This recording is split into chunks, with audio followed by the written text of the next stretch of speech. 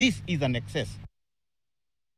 DAPK party leader Eugene Wamalwa has slammed the Kenya Kwanza government over what he called mismanagement of public resources. The former defense CS says the move is hurting the education and health sectors.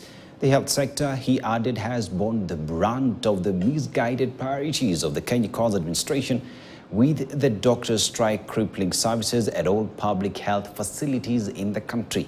Eugene said it was unfortunate that innocent members of the public were suffering out of a failure orchestrated by the government.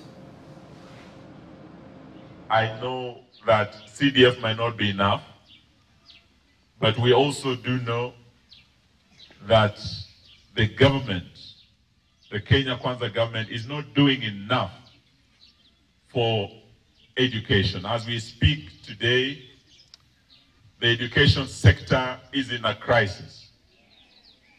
Schools are struggling. A big school like Nyakach Girls with almost 4,000 students have not received their capitation on time. There have been delays and schools are struggling. You can see the teachers saying now they want to go on strike. In the health sector, there is a crisis. Our doctors are, are on strike.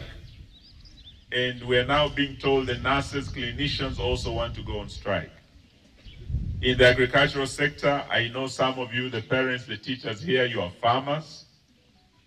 The agricultural sector is also in a mess with this scam of uh, fake fertilizers.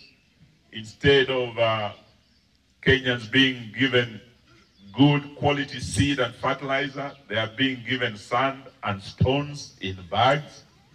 I know even as you sit here, some of you might have received the fake fertilizer. You are suffering like other Kenyans in other regions. Still on matters agriculture and cane farmers from western region have raised concerns